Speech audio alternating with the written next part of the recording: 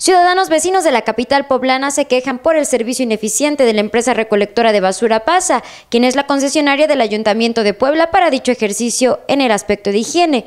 Y es que a plena luz del día se continúan observando las bolsas y basura regada inclusive en los parques de la ciudad. Es por esto que los ciudadanos hacen un llamado al ayuntamiento para que ponga más atención y evite la mala imagen que la basura ocasiona para la capital.